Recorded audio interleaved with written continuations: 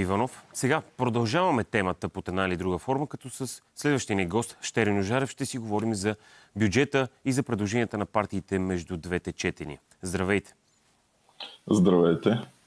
Господин Ожаров, тези искания за по-високи заплати на а, хората в бюджетния сектор продължават да се увеличават. Най-шумни са хората от МВР, но ето виждаме и в Да има проблеми. Според вас, ще има ли успех а, исканията на, на, и на двата големи синдиката за увеличение на бюджетните заплати? Да започнем от там. А, да, нека да кажем няколко цифри. На първо място в последните 4 години разходите на държавата за заплати в бюджетния сектор са увеличили с почти 30%. От 2020 година са били 11,4 милиарда, а 2023 година 15,7 милиарда се предвижда да бъдат. Тоест имаме 30% увеличение на разходите на държавата за заплати. А, на следващо място трябва да кажем, че единственото предимство на настоящия проект на бюджет беше, че той иска да върне фискалната дисциплина. А, в него няма заложени политики, няма заложени цели, но той беше разумно а, дисциплиниран бюджет, а, при което тъй като в момента започва едно ново роение на разходи и надигане на заплати, между първо и второ четене са направени между 60 и 80 предложения за това от различни народни представители. Този бюджет става безмислен, защото след като в него няма политики, той няма и да върне фискалната дисциплина, какъв е неговия смисъл. Отново една цифра да посочим. Разходите които ще бъдат за увеличение на заплати между първо и второ четене, обща стойност на предложенията изглежда сравнително скромна 230 милиона, но тя е само за няколко месеца. В следващия бюджет, това е нещо, което няма как да се върне назад, това ще бъдат половин милиард лева за цяла година, т.е. още от сега. Един вид ние обричаме, например, държавните дружества следващата година отново да платят 100% дивиденд, например. А, и ние започваме да плащаме заплати и увеличение на пенсии, увеличение на заплати и с държавни заеми. Има предвидено отново 5 милиарда а, взимане на външен дълг, като в следващите 3 години това ще бъдат 15 милиарда, т.е. започваме да поемем увеличението на, на заплати и на пенсии с това. А, може би от тук нататък трябва да коментираме и как, какви са вариантите в бъдеще. Не, че някой има против да се увеличават заплати и пенсии, но а, економическата, как да кажа, економическата и теория и практика е много ясна.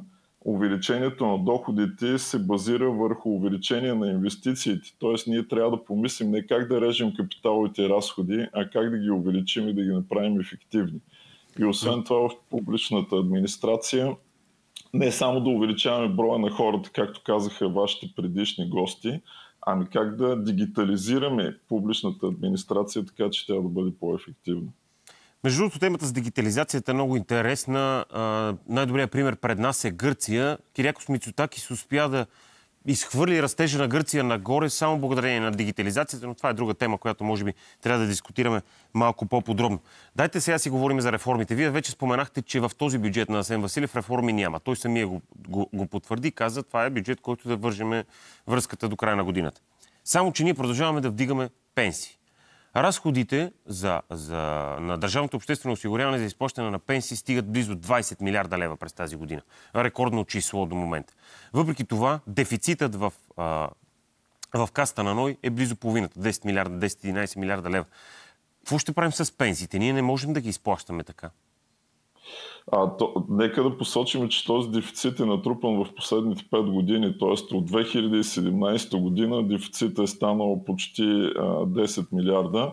А тук проблемите са големите деформации, популизъм в пенсионната система. Известно е, че една от деформациите беше COVID-добавката, която сложи еднакво за всички пенсионери. Това деформира пенсиите. На следващото място идеята, че пенсиите трябва да надвишават линията на бедност. Това трябва да е така, но не с пенсионно, а с социално плащане, тъй като веднъж платено то се интегрира в пенсиите и обезсърчава онези, които внасят осигуровки.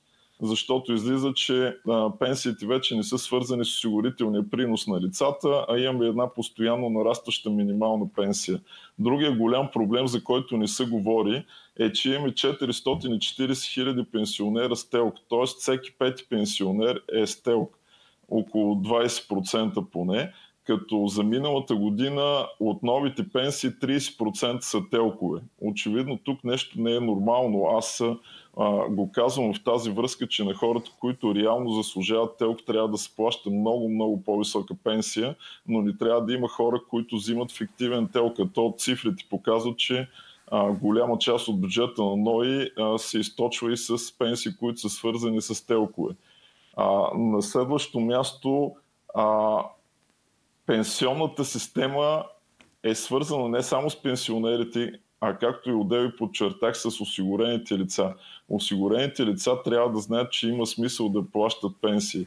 Към момента около 60% от пенсионерите взимат еднаква пенсия, т.е. минимална пенсия тогава възниква въпроса защо някой трябва да се осигурява на реалния си доход. А, изобщо аз мога да говоря много дълго за деформациите в пенсионната система – но те са страшно много. Правени са две реформи през годините, ориентировъчно 2008-2015 година. Очевидно има време за нова реформа а, сега в момента и тя трябва да обхване и това как се синхронизират а, трите стълба, първи, втори и трети стълб, тъй като ние постоянно говорим за първия стълб, но не говорим как той да бъде синхронизиран с останалите и защо трансфера от държавния бюджет за плащане на пенсиите вече надхвърля 50%.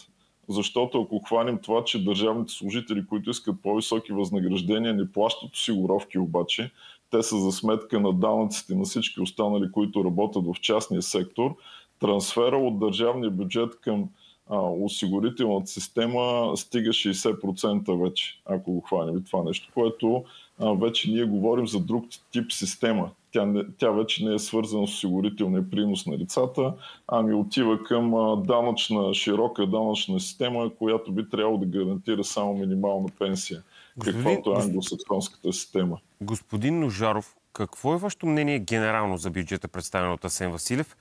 Имам предвид следното. Той се опита да свие до някъде разходите, отрязаха най-вече от капиталовите разходи, малко пари за министерствата. В същото време виждаме активизирането на регулаторите към малки и средния бизнес.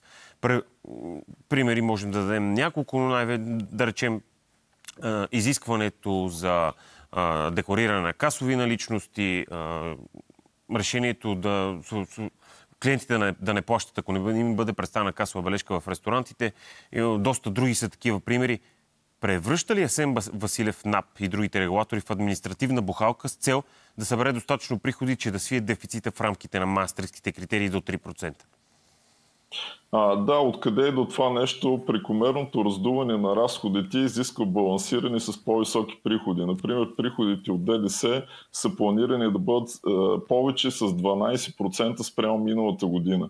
Откъде ще дойдат тези 12%, след като съседите на България и изобщо държавите в Европейски съюз влизат в техническа рецесия и при нас инфлацията намалява а, те идват от един заложен прекомерен натиск върху бизнеса, който е в преходните и заключителните разпоредби, а, който изисква назначаване на нови служители, увеличаване на административните разходи за бизнеса а, и който е нереален спрямо целите, които са таргетирани. Тоест това ще обесърчи бизнеса и той го обесърчава, защото ако погледнем нивото на инвестициите, което е най-важното, ние не говорим за преки чуждестранни инвестиции, говорим за общи инвестиции. България има около 20% инвестиции от брутния вътрешен продукт, общо от публичния, от частния сектор, те трябва да са поне 32 за да се гарантира, че ние ще имаме догонващ економически растеж. Към момента ние реално изоставаме защото догонващия економически растеж трябва да е над 4% годишно, за да догоним средното европейско ниво за 15 години, т.е. за следващите 15 години. При нас средно е 2% с тенденция да падне до 1,2%. А, тоест, това се дължи на все повече свиващите си инвестиции, основно в частния сектор, и те свиват повече заради лошата административна и бизнес среда. Т.е. заради постоянните експерименти с бизнеса, спомните си, че служебното правителство се опита да въведе едни екзотични данъци. Сега пък имаме един прекомерен натиск. А, и така, това, това влияе просто лошо на инвестициите, което в бъдеще ще свива економически растеж и няма да позволява увеличаване на фискалните разходи, т.е. и за социални и за други Накрая, накрая приключи ли периодът близо 25 годишен на консервативна фискална политика в България? Асен Василев преди година обяви, че именно този подход към обществените финанси ни е задържал бедни. В същото време виждаме, че раздуването на разходи не води до нищо добро. Ще се върне ли страната към балансираните бюджети някога? Ами, аз искам да продължа това, което казах преди малко. Този период ще приключи тогава, когато България се научи, да, че инвестициите в економиката трябва да надхвърлят 30% от брутния вътрешен продукт. В противен случай а, ще имаме едно временно трупане на дългове. Външният дълг е планиран да се увеличи до почти 30% от брутния вътрешен продукт, а номинално да се отвои, след което ще се събудим и ще минем на рязка фискална дисциплина, която ще бъде много по-строга от преди. Ако ни правим инвестиции, които да са 30% от брутния вътрешен продукт. Така че а, моят а, кратък отговор е, че иллюзия е, че този период е приключил, ако не увеличим инвестициите. Какво очаквате да се случи в крайна сметка бюджетната процедура? С няколко изречения, очаквате ли депутатите да се плъзнат по линията на популизма и да надуят разходите още повече? Или все пак очаквате някаква, някаква съвест, някакъв здрав разум от тях? Особено имайки предвид, че предстоят местни избори. Да, ако депутатите надуят разходите, стартиралото, всъщност стартиралото планиране и разработване на бюджета за следващата година, който трябва да бъде прият до октомври, т.е. сега към момента почва да се работи бюджета за 2024 година, ще стане невъзможно упражнение. Тоест, тъй като сегашните разходи, както и подчертах, са за около 5 месеца, но те в следващия бюджет ще се отвояват. А, така че те трябва да мислят и за следващия бюджет. Това би ги посъветвал, който към момента започва да се разработва. Добре, благодаря ви. На гости ни беше онлайн Щери Ножеров. Говорихме си за парите на държавата и за бюджетът между двете четения. Сега много бързи реклами връщаме се след това.